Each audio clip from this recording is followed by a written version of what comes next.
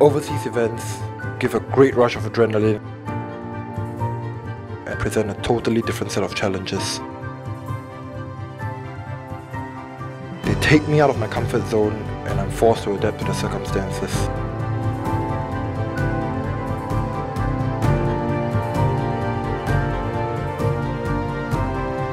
It always gets tense before a race.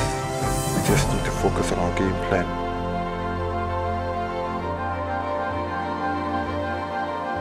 I never let doubt creep in. I'm here to compete.